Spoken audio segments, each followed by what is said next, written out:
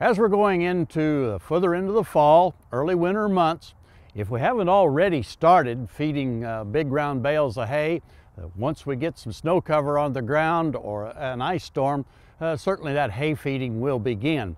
Questions arise then about how much hay do we need to have stored to take care of the winter needs of our beef cows that are going to calve next spring, and how much hay do we need to take out to the pasture at any given time in order for the cows to meet their daily requirements? Well, there's several things that are involved in making those calculations.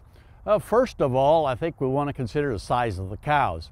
Uh, obviously, uh, if we consider that we've got some normal sized beef cows today in today's world, that generally means a pregnant cow is someplace around 1,200 pounds. Cows will consume in terms of how much hay each day depending upon hay quality. If it's a low quality hay, and by that I mean something that's certainly 6% crude protein or less, these cows voluntarily can consume only about 1.5% of their body weight each day.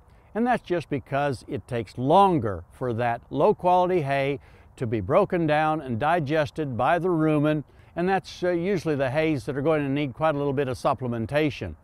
If they're consuming a higher quality grass hay, let's say something that's about 8% crude protein or better, now these cows can uh, consume about 2% of their body weight voluntarily just because the rumen can go ahead and break that down faster. There's uh, faster turnover time and they can consume more of that hay and they need less supplementation. But let's use an example here of a 1,200 pound cow that's consuming that 8% crude protein grass hay. She can consume about 2% of it uh, on a dry matter basis, and that means 100% dry matter, no moisture involved, about 2% of it every day. Well, 2% of 1,200 is 24 pounds. That grass hay, even though it looks dry to you, still contains about 7 to 10% moisture. So we have to calculate that. And so as we figure this uh, as to how much hay that sheep can consume on an as-fed basis, it uh, jumps up to about 26 pounds. That still doesn't include the fact that when we take that hay out, put it in one of our bale feeders, or just uh, string it out on the ground, there's going to be wastage. And wastage will vary uh, quite a little bit, from as low as uh, we estimate about 6% in some of the best situations to as high as 20% or more. Let's assume we're just putting that in just a regular ring bale feeder and it's uh, going to be about 15% hay wastage on top of the 26 pounds that uh, she can consume.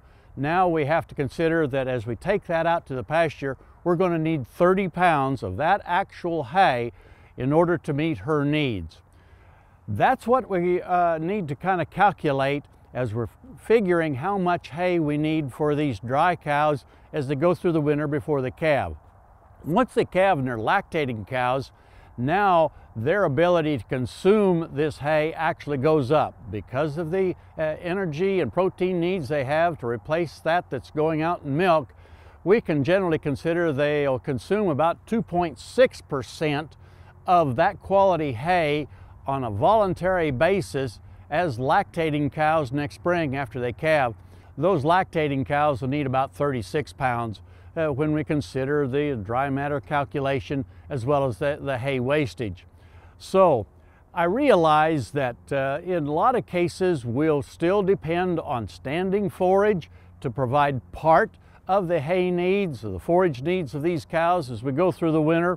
But if we're in a situation where our pastures are real short or we have snow cover on the ground for a period of time and all of the hay and forage that those cows are going to consume we need to keep those numbers in mind so that we're getting the right amount of hay out to those cows to meet their needs so that we can maintain body condition on them into and through the calving season and then on into towards spring grass and the breeding season so that we not only have a successful calving season this spring, we have a good breed back for those calves uh, that we're going to uh, expect the following year.